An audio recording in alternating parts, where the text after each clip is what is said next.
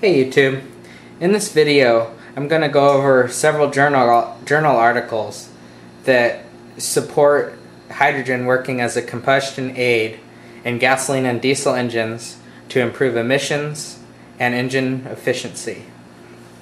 First I'm going to go through several papers showing uh, bottled hydrogen uh, studies that were conducted uh, showing these effects in engines.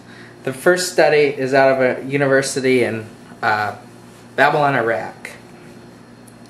This study looked at uh, hydrogen ethanol blends uh, and the effect on performance and pollution emissions.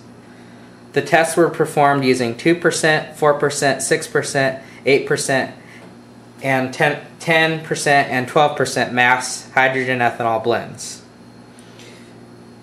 The results show that supplemental hydrogen in the ethanol air mixture improves the combustion process and hence improves the combustion efficiency, expands the range of combustibility of the ethanol fuel, increases the power, reduces the specific fuel consumption, and reduces toxic emissions.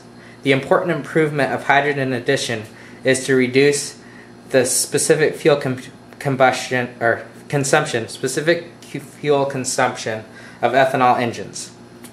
And this paper was out of the journal Renewable Energy. The next paper is by the same authors, and it's titled Performance Study of a Four-Stroke Spark Ignition Engine Working with Both Hydrogen and Ethanol as Supplemental Fuels. The, in this study, the addition of 8% mass of hydrogen with 30% volume of ethanol alcohol into a gasoline engine operating at a 9 compression ratio and 1500 RPM caused a 48.5 reduction in CO emissions, 31.1% reduction in NOx emissions, and 58.5% reduction in specific fuel consumption. Moreover, the engine's thermal efficiency and power output increased in one case by 10%, and another case by 4.72%. And this study, this paper was published in the International Journal of Hydrogen Energy. This next paper by University of Windsor in Canada showed improvement in this study uh, they they titled it "Effects of Addition of Electrolysis Products on Methane Air Premix Laminar Combustion." This study, uh, the primary work in this study was done with a Kimu, uh, Kim Kin kinetic simulation software package. By uh, inputting the addition of 10% hydrogen and oxygen mixture which would be in the proportion of what would be in electrolysis products. They found that improvements in the flame speed of methane air mixtures by the addition of 10% hydrogen and its associated oxygen were equivalent to the improvements obtained by the addition of 20% hydrogen alone. And this paper was published in the International Journal of Hydrogen Energy. Next paper is produced by, or is uh, published in the International Journal of Hydrogen and Energy by the same University of Windsor in Canada. Uh, this paper is titled The Addition of Hydrogen to a Gasoline-Fueled SI Engine. They found that added, the added hydrogen resulted in improved work output and a reduction in burn duration and cycle-to-cycle -cycle variation while operating under lean conditions.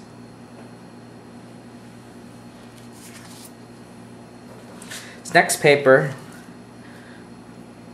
uh, was published by a university in Hong Kong and it's titled Formation and Restraint of Toxic Emissions in Hydrogen Gasoline Mixture Fueled Engines.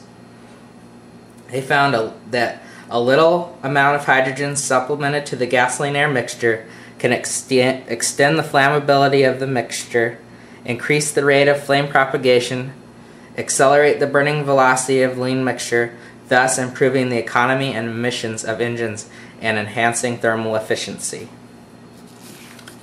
These papers support uh, using hydrogen and that it does uh, improve uh, combustion and thus improve efficiency and reduce emissions of, in engines. Now I'm going to go through several papers. The general question is, okay, hydrogen improves combustion, but can you do it by a, a onboard electrolysis process? And I'd like to present several papers that looked at this.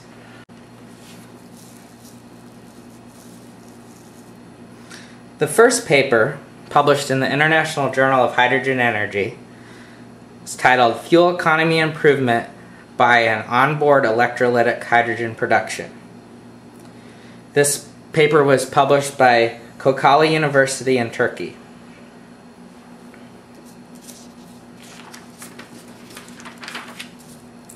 This study, they uh, replicated a pattern of a hydrogen cell And here's the diagram of the cell. Technical information for this cell. They supplied maximum gas supply of 20 liters per hour, which comes out to be 333 liters milliliters per minute. They used a carbon cathode and a platinum anode. They used 90 volts and 3 amps.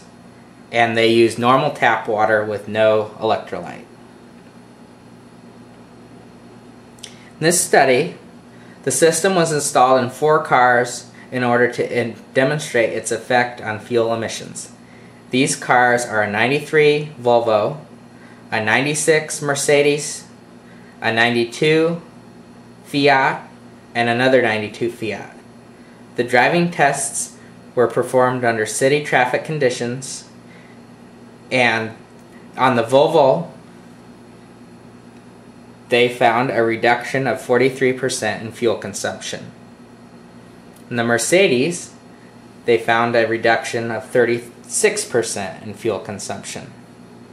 The first Fiat, they found a 26 reduction, 26% reduction in fuel consumption, and the other Fiat, they found a reduction of 33% in fuel consumption.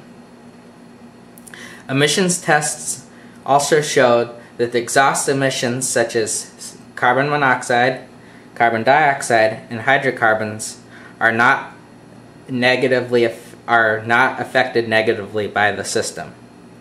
Moreover, these emissions reduced to a margin of 40 to 50% over the range of the vehicles. And the conclusion from this study was, therefore, without altering any performance criteria, the system yields 35 to 40% fuel savings and reduces exhaust emissions. And again, this paper was published in the International Journal of Hydrogen Energy, and the study was conducted in the year 2000 at Kocaeli University in Turkey.